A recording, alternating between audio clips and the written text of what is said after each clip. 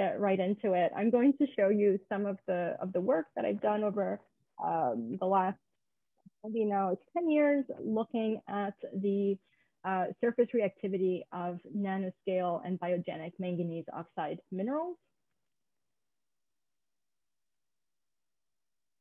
Manganese is an environmentally critical element um, and has a fascinating chemistry. It occurs in three different oxidation states in the environment, manganese 2 plus, 3 plus, and 4 plus, with um, manganese 3 uh, being uh, unstable unless complexed by um, strong ligands and um, otherwise uh, forming solids uh, together with manganese 4. Uh, manganese is the third most abundant transition metal. It forms more than 30 different oxide hydroxide uh, minerals.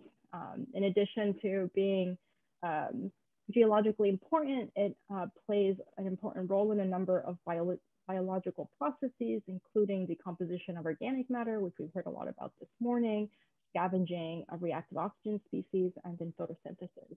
Um, manganese oxides are present in diverse ecosystems, um, including um, in, in biofilms surrounding plant roots and soils, um, and there are manganese nodules. I'll show you um, some images. Here you see manganese um, oxides in, in a nodule. Um, in travertine deposits, um, manganese oxides have been identified um, on Mars. Here's a nice slide contributed uh, by Scott uh, showing the importance of um, manganese oxides in, in regulating the uh, speciation and fate of a, of a, a range of important environmentally relevant trace metals and contaminants. Here's uh, my colleague, Margaret Ann Hinkle, uh, working at a coal mine drainage site in Pennsylvania where manganese oxides form uh, through microbial activity and contribute uh, to the remediation of coal mine drainage. Um, and so these uh, manganese oxide minerals are present in a broad range of environments. Um, their, um, their formation is driven through microbial activity. Uh, the homogeneous oxidation of aqueous manganese is extremely slow, um, in microbial um, activity through um, a number of different enzyme systems accelerates the formation of these minerals by up to the rate of formation by up to uh, five orders of magnitude. Um, this SEM image shows you Pseudomonas putida GB1, which is a system that I've been working on for, uh, for a number of years.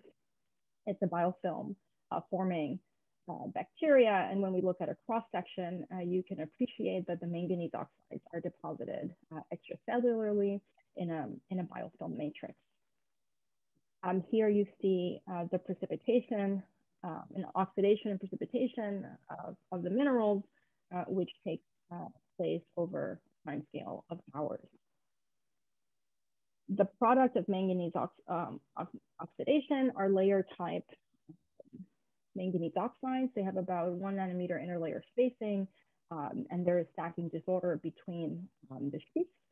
They uh, harbor a large uh, proportion of point defects, so up to 20% uh, manganese uh, vacancy sites in the sheet. And um, the consequence of those vacancies is the uh, presence of layer and interlayer um, cations of lower valence for charge compensation. These interlayer cations can be manganese uh, too, uh, or other, other metals, and that's what I'll be talking about in the talk. Um, in this TEM, uh, set of TEM uh, images, you can start to appreciate um, these defects, uh, the vacancy sites, and you, you, you see that there is um, a high amount of structural disorder at the atomic scale. Um, and so just to kind of summarize, disorder breeds reactivity. Um, these wafer cookies are a nice kind of uh, conceptual model for, uh, for the structure of these minerals. You have a hydrated interlayer um, that accommodates water and, um, and metal cations, and you have a large uh, number of defects. And uh, my interest has been in trying to understand um, how a range of, of metals um, bind uh, to these minerals. The approach that we have that we have used is to combine um, adsorption experiments um, the characterization of, of the oxides using X-ray absorption spectroscopy, uh, PDF analysis, and electron microscopy, um, and then conducting um, X-ray uh, at the K-edge for a number of metals and combining that with DFT calculations to help with the interpretation of the X. And so I'm going to show a couple of studies where we have integrated these uh, different approaches. So the first question um, that we want to get at is, we know that these nanoparticles are enmeshed in a biofilm matrix. And so how do metals partition between um, organic and inorganic surface sites? And we approach this by monitoring changes in speciation at increasing surface loadings, um, comparing sorption in biomass and biomass mineral, mineral assemblages, and again, uh, using DFT geometry optimizations to inform the analysis of the X. In this graph here, you can see um, some absorption uh, edges. In on the uh, y-axis, you have the fraction of uh, nickel sorbed as a function of pH. The yellow dots show you um, nickel sorption by the biomass, and the green squares show you nickel sorption um, by the biogenic manganese oxides. And while the birnessite uh, component, the manganese oxide component, uh, comprises only 12% of the sorbent on a mass basis, it enhances um, sorption by up to a factor of four more relative to the biomass alone. Um, when we um, uh, plot our data here, what I'm showing you is a cation exchange model. Um, our batch experiments show that nickel sorption um, is uh, accompanied by the release of aqueous manganese 2 plus into solution um, in a regime below about a surface loading of uh, 0.1 mole nickel per mole manganese. Uh, above that surface loading, we see that there's no longer um, manganese release. And so we see the shift in um, uh, higher uh, selectivity uh, for binding to the manganese oxide surface relative to the biomass. Um, we then can investigate using XAV spectroscopy um, the, bind, the binding environments of nickel um, in, uh, in the oxide. And so here I'm showing you EXAFS spectra collected from samples where the manganese, uh, excuse me, the nickel loading increases uh, from 2% to 23% uh, um, per, per of manganese. And we see characteristic uh, peaks here for the nickel oxygen and nickel manganese shell. Um, this nickel manganese shell at 3.48 angstroms is characteristic of nickel bound um, as triple corner sharing complex at vacancy sites. Um, and you see that cartoon here. Um, as we increase the, the nickel loading, we find that this triple corner sharing complex dominates at a pH 6 when we get above this loading of 23%, um, uh, we see two things. We see that we have some, um, we have a second bonding environment, which I'll talk about more in a moment, uh, consistent with the substitution of, of nickel um, into the sheet and that we have a high occupancy of the vacancy sites. Now, um, this um, substitution of nickel into uh, the sheets here, see the cartoon, you have the incorporation of nickel um, is really apparent at higher pH values. And here is a spectrum of the 6% nickel loading at pH 8. And again, we have um, the characteristic triple corner sharing nickel manganese cell when we have another manganese cell at 2.86 angstroms. Um, so at this higher pH value, we see that uh, about 30% of the total nickel appears as uh, incorporated nickel, and um, that uh, accounts for about 10% of the vacancy sites. And so the, the sorption mechanism of nickel uh, by biogenic manganese oxides depends both on pH and surface coverage. And our interpretation of these EXAFS spectra was really facilitated by um, uh, some density functional theory uh, calculations that allowed us to uh, geometry optimize these different end member geometries, the triple corner sharing complex and the nickel um, incorporation uh, species. And with those geometry optimized structures, we are able to compare the interatomic distances from EXAFS with those derived from DFT, and we found really good agreement between them. Uh, we're also able to lower the sorbed, the interlayer um, nickel uh, triple complex, and then lower it progressively into the vacancy site so that we could look at the transition from nickel TCS to nickel substitution and get some insight into whether the TCS species is a precursor for nickel substitution and whether in fact the decrease in proton activity, which we can simulate by removing uh, protons from the simulation favors nickel substitution. And so we um, calculate the energy barrier for that transition um, for these two different pH environments, and we see that nickel substitution is more energetically favorable and that at higher pH values, we have a lower um, energy barrier. So that's a really nice complement to the um, spectroscopy. Now, um, I mentioned earlier and showed you images showing that these are nanoparticles. So they're, they're vanishingly small particles. And um, we then you know, we, we could get a good understanding of the absorption of nickel at vacancy sites or its incorporation. Um, but the work with the biogenic oxides didn't provide insight into the reactivity of uh, different surface sites, those that are um, on the AB plane in the, in the layer versus those that are at the particle edges. And so again, our approach here is to monitor changes in speciation, in surface speciation at increasing loadings, um, and to saturate the vacancy sites with one metal um, as a way of probing the reactivity of the particle edges. And so uh, for this work, we need to remove some of the complexity. So we shift from working on a biogenic uh, oxide to an abiotic one.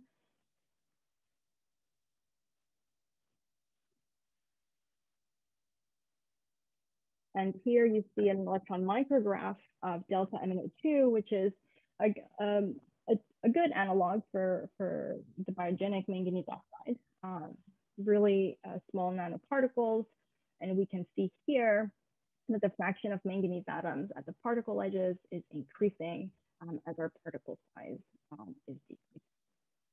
And so what we did was we took this delta MnO2 and we prepared two different versions, one where the uh, manganese uh, was present exclusively in the manganese 4 uh, oxidation state. And so we have the presence of vacancy sites that are unoccupied. And the second material where we, um, we pre partially pre-reduce some of the manganese to manganese 3. And so we obtain about 34% manganese 3 without changing um, the sheet symmetry and overall structure of the oxide. Um, and in this case, we end up with a large fraction of the manganese three at the particle edges um, and some, and also all of the vacancy sites, or most of them now uh, covered by manganese three. And so that gives us a system that allows us to probe the particle edges. So let's look at the adsorption again of nickel on those two different oxide preparations. So in the triangles here, we have nickel sorption by delta MnO2 uh, that contains no manganese 3, and we see a very high affinity, and we reach loadings of about um, 16%. If instead we look at the adsorption of nickel onto the manganese 3 material, uh, we see lower, um, lower affinity and lower um, capacity. Okay, and so we collect EXAFS spectra of samples um, at a range of of loading. And I picked a couple of examples to show you here. So uh, this top one is nickel um, at a 5% loading, so where we still have not exceeded the vacancy content. And we see that our dominant bo bonding environment is nickel in this uh, triple corner sharing complex, which uh, forms at the vacancy site. In the manganese 3 rich oxide, uh, we have a really different um, spectrum. And here in the Fourier transform, you see that we have uh, two uh, peaks that emerge as important. One of them is a corner sharing um, species and has a similar distance to the one at the vacancy sites, and a second is an edge sharing species. And so we see that the that nickel has different bonding environments uh, when absorbed uh, onto these two different uh, preparations of uh, delta MnO2. Um, we then wanted to understand if this decreased peak amplitude shows fewer um, neighbors, uh, but then we also found uh, different distance uh, for, especially for um, the edge sharing species, which has a, peak here between 3.01 and 3.05 angstroms. And we wanted to understand if this would be evidence uh, for nickel binding at uh, the particle, at the particle edges. And so again, we, we kind of went to DFT because there's some ambiguity in the interpretation of the EXAFS. And so we had um, these small clusters containing seven uh, manganese octahedra, and then we're able to, um, to geometry optimize nickel surface complexes in a range of different geometries um, and different protonations. And what we uh, found through this is that for um, nickel corner sharing complexes at the particle edges have similar interatomic distances. Jasquelin, this is your um, two minute timer. Thank you. Um, have similar distances to those at the vacancy sites, but um, when uh, nickel is bound to the particle edges uh, near a manganese 3 um, octahedra instead of a manganese 4 octahedra, uh, we, we predict this 3.05 angstrom interatomic distance. And so the longer atomic interatomic distance that we picked out with the EXAFS was in fact supported by our DFT um, calculations.